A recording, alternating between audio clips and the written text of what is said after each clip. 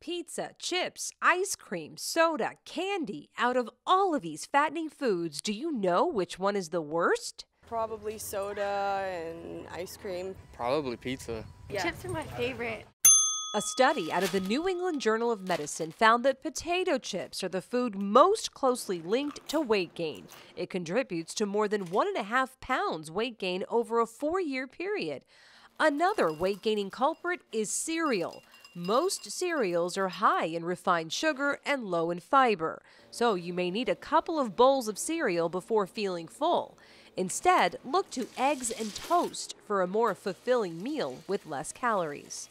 And that syrup that you love for your pancakes and waffles may not actually be maple syrup, but really a mixture of artificial flavors, caramel color, and high fructose corn syrup.